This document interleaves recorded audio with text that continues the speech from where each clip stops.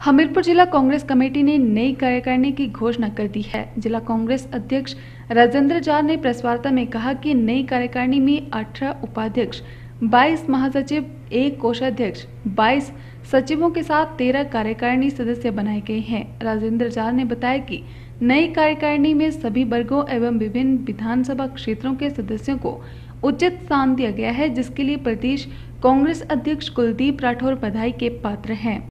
जो हमारी office business की और कार्यकारिणी की जो बॉडी बनी है, उसमें 18 उपाध्यक्ष रखे हैं और 22 के करीब महासचिव रखे हैं, एक कोषाध्यक्ष है और 22 सचिव है और 13 कार्यकारिणी सदस्य हैं। तो इस तरह से ये पूरी कार्यकारिणी को छिहत्तर मेंबर्स की बनती है। तो हमने खैर पीछे तो 100 से भी ऊपर थी इसकी तादाद, पर हमने फिर भी कुछ कसर इस बार रख ली है और आगे के लिए भी स्कोप रखा है, कोई अच्छा काम करने वाला होगा तो उसको और जगह दी जाएगी। और मेरा बिल्कुल आज के दिन आप सबके सामने ये वक्तव्य है कि हम शीघ्र ही इन जो हमारे पदाधिकारी हैं, जिला स्तरीय, उनको हम शीघ्र ही कामों का आवंटन करेंगे और उनसे फीडबैक भी लेंगे।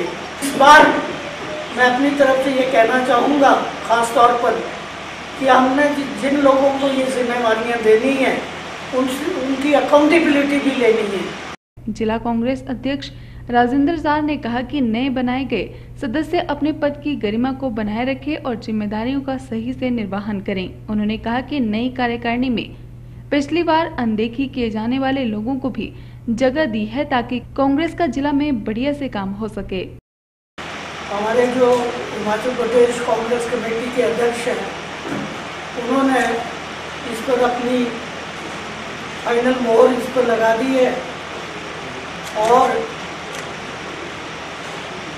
कोशिश की है।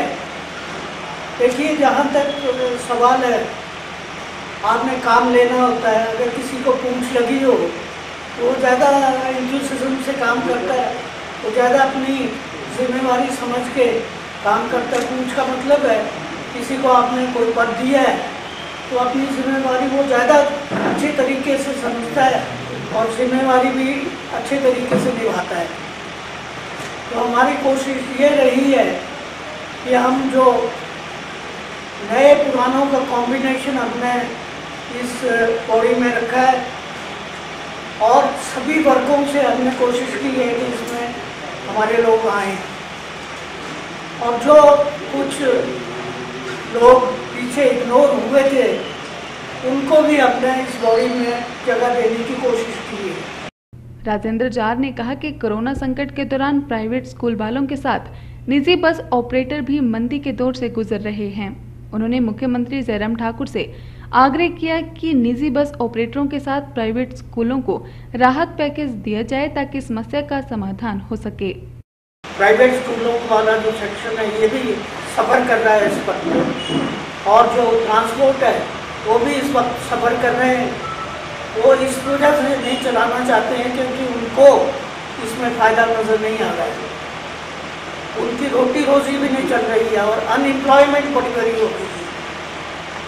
तो ये सारी चीज़ों को मद्देनज़र रखते हुए माननीय मुख्यमंत्री जयराम ठाकुर जी से मैं ये अनुरोध करूँगा कि प्राइवेट स्कूलों को भी पैकेज मिले, जिस तरह और सेक्शंस को सोसाइटी के मिल रहा है और इन ट्रांसपोर्टरों को भी, जो प्राइवेट ट्रांसपोर्टर हैं, उनको भी राहत का जो पैकेज है, उनको मिलना चाहिए। यह हमारी आज जिला कांग्रेस कमेटी से मांग रहेगी मुख्यमंत्री